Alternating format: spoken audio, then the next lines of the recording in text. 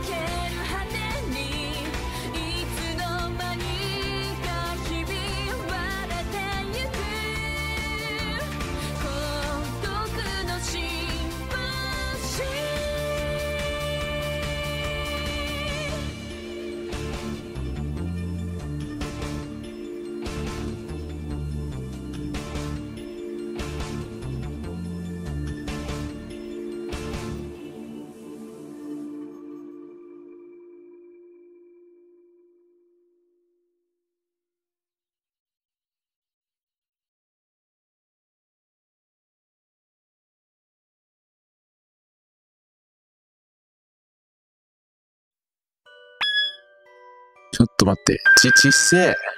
ちょっとね、画面サイズの調整が難しくて、えー皆様にはね、ちょっと、多分だけど、皆様にはもう少し、あの、見やすい大きさになってると思うんですが、私の画面で見ると、ものすごい視力検査みたいな、文字の小ささになってます。なので、ちょっと、あれかもしれん。目が、目がってなるかもしれん。えーそれは数年前にとある学校で起きた事件がきっかけで生まれたものだった。その事件のせいで学校には恐ろしい噂が広まった。呪われた鏡は事件が起きた学校のどこかにある。そういえば思い出したんだけど、なんか鏡を見たことによって別の世界に迷い込んで、なんかどうたらこうたらいう話だったような気がします。しかし絶対にそれを見つけてはならない。これフルボイスだった気がするんだよね。なぜなら、えー、それが救いだね。そのフルボイスっていうのが。呪われた鏡には霊が取り付いているからである。あ、やべえ、今んとこ話が全然頭に入ってこん。事件の当事者である一人の子供が、何を思ったか？鏡に取り付いてしまったらしい。何？事件って何があったんだっけ？おそらくこの世に未練を残して死んだのだろう。もしもそんな恐ろしいものを見つけてしまったら最後。こういう恐ろしい鏡が学校にあったってこと？なんか呪いがかかった鏡？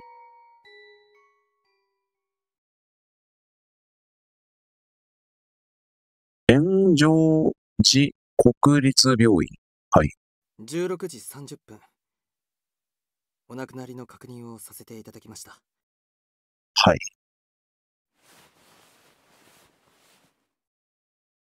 医師による死亡確認がなされました。エンゼルケアを行います。AI みたいないい声してますね。この声は誰？あれ今死亡確認された人じゃない？それに僕一体どこにいるの？目の前が真っ暗で何も見えないよいいね。フルボイスいいね。助かるね。ご冥福をお祈りいたします待って、まだ死んでない。ああそうか僕は死んだのかマジ？若そうなのにだから目の前が真っ暗なんだ何にも見えない。死んだ？僕本当に死んだの？う嘘だ信じたくないまあそうだよね。嫌だ嫌だよ助けてよ僕死にたくないそうだよ死んだなんて嘘に決まってるいいね、声優さん。誰かこのぐらいの感じのテンションで読み上げられればいいんだけどね。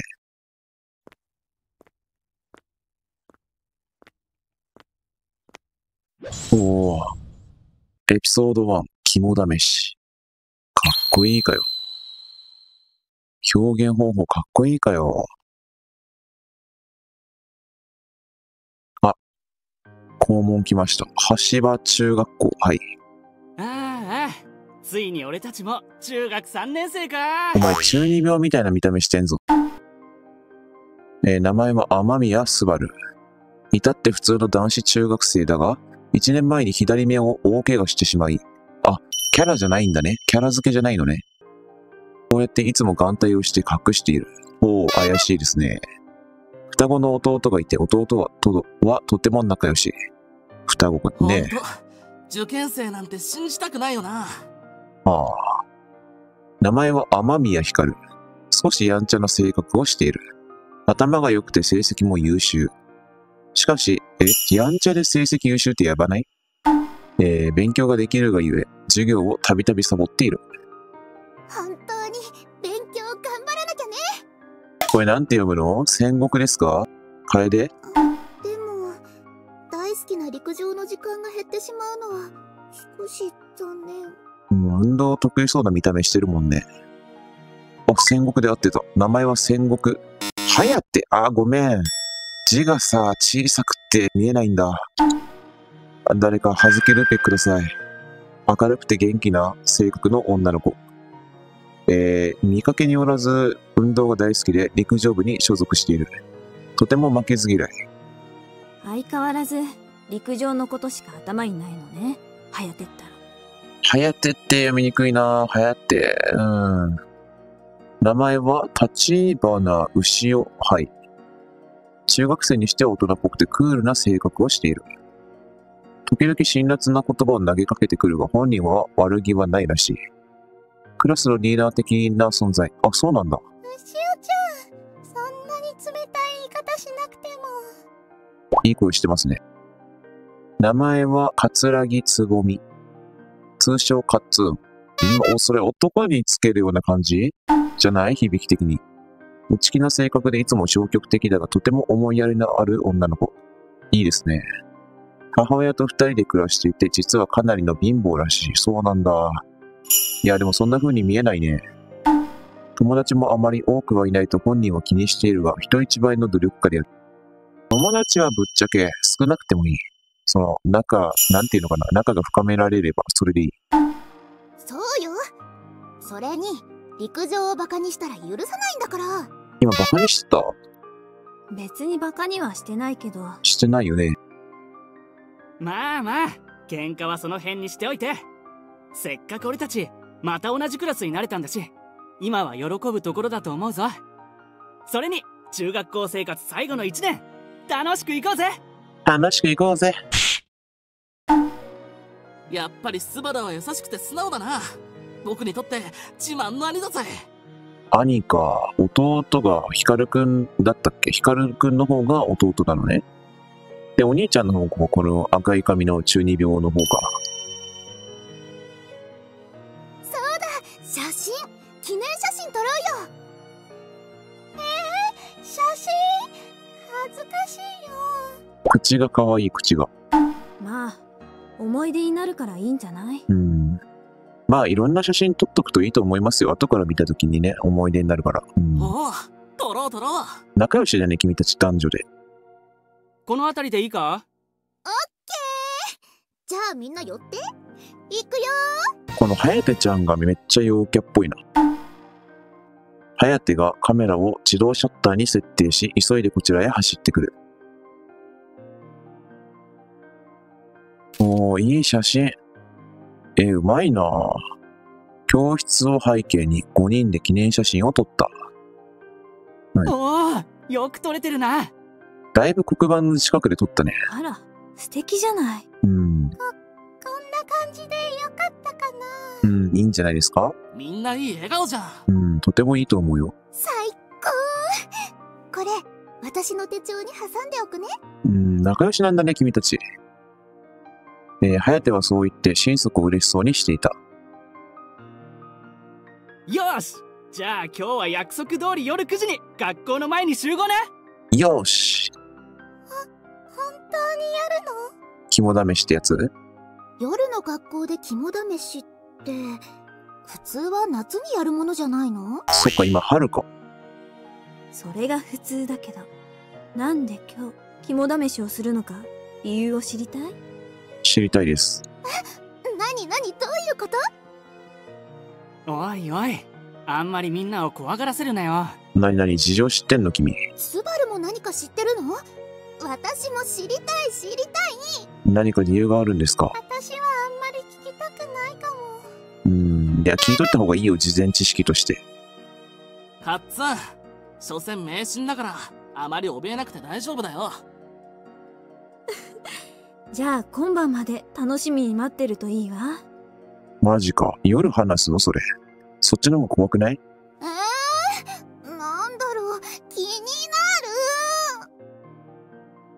みに校舎の中にはもちろん入らないんだよね？それって肝試しの意味ある？何言ってんだ入るに決まってんだろですよね。ダメだよ勝手にそんなことしちゃうん。でも一体どうやって校舎の中に入るつもり？夜は鍵がかかってるはずだけど確かに。心配ご無用ヒカルがズボンのポケットに手を入れ、何やらゴソゴソとしている。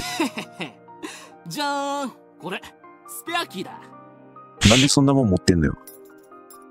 鍵をチャラチャラと鳴らし、とても嬉しそうにしているヒカル。あなたね。まさか職員室から盗んできたわけ？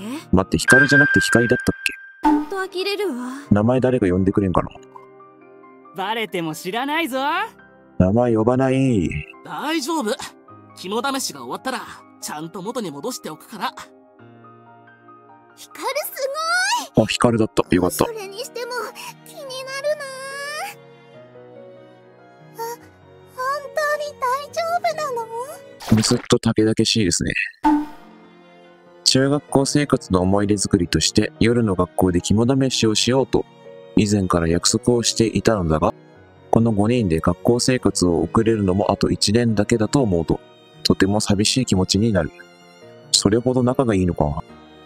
高校もみんな一緒のところへ行けたらと思うけどそうはいかないんだろう。だからあと1年を悔いのないように大切に過ごしたいと思う。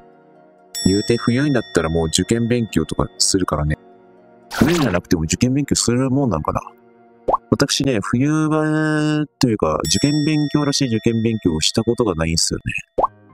正直あの、試験はね、作文と面接だけだったよね。それで通っちゃったからさ。一般知識みたいな。まあ一応他の学校受けには行ったんだけど、滑り止めとしてね。けど、なんか受験勉強らしい受験勉強って今まで人生の中で一回もそれらしいことしてきてないかも。楽しい時間が過ぎていくのは本当にあっという間だ。スバル何暗い顔してんだ？何かあった？え、どうした？急に。いやなんでもない大丈夫だよいや、なんかあるでしょ、絶対。この楽しい時間がずっと続けばいいのに。強くそう思った。この視点はスバルくんの視点なのかな？るほど。お学校夜になったね。夜9時。お全員揃ったなウェイ、揃ってるぜねえねえスバルもう教えてくれてもいいでしょ？そうねそろそろ恐ろしい噂について説明してあげたら？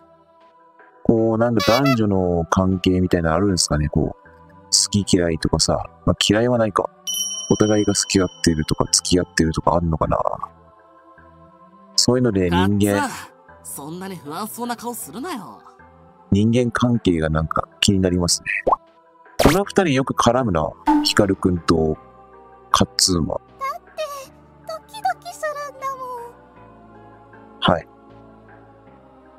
実は俺たちの通ってる橋場中学校はもともとは小学校だったらしいんだえー、そうなんだ。林道小学校だったっけ？読めねえな。そう林道小学校が廃校になってその跡地に橋場中学校が建てられたんだもう新しく建てたんだ、校舎。へえ、珍しいね。へえそうなんだほそうれが肝試しと何か関係があるの？うんあく。まで噂だから本当かどうかはわからないけど数年前その小学校で一人の子供が死んでしまう事件が起きたらしいのよこれ、冒頭にあった死にたくないって言ってた男の子の話かな？自殺なのかそれとも殺人なのか自殺ではないでしょう、あの感じだと。そそんそれでその死んだ子供の霊がこの中学校には出るって噂があるらしいへえ、そんなの嫌だよ。やめておこうよ。でも夜の学校って怖いよね、それだけで。死んだのは当時小学6年生の少年。でも校舎がな、校舎が割と新しいから、そんなに怖くはなさそう。高校、私の高校ははね、あの、戦時中っていうか、それぐらい、まあ、それぐらいの頃からあった学校だったらしくて、あの、校舎がね、とても古かったんですよね。で、あの、夜になるとね、兵隊の霊がっていうとか、よく言ってました。で、コウモリのね、糞もね、消火栓みたいなところにいっぱい落ちてたのよ。学校の中にコウモリが住んでるっていうね。やばくね？林道小学校にはとても綺麗なバラ園があったらしい小学校の近くにも防空壕があるとか噂だったしなとても綺麗なバラ園。そのあバラ園で少年は倒れていた。えー、なんで？すぐに病院に運ばれたけど残念ながら間に合わなかった。バラ園で何があったし？病院ってどこの？それ気にするんだ。え、珍しくない？どこの病院で亡くなったかとかさ、珍しくない気にするの？気になりますね、早天出ちゃん。王寺国立病院よ。林道小学校が廃校になったのはその事件が原因だったのかもしれないな。いや、それだけでさすがに廃校にはならんと思うよ。そそうなんだ普通に校舎の老朽化とかじゃないの。そしてその子が死んでしまった日はちょうど10年前の今日なんだ生徒がさ、飛び降り自殺とか学校からすることとかもあるじゃないですか。あんまりこう、言いたくはないけどさ。でも、そうなったとしても校舎を取り壊しとかそんないちいちやってたら、マジどんだけ金があっても足りんからな。かわいい悲鳴ですね。やめて女子は3人か。1人は強そうだもんな。あなたたちったら本気で怖がってるの？この子がちょっとメンタル強そうな感じだけど、まあ怖い時のビビり散らした時の顔が楽しみですね。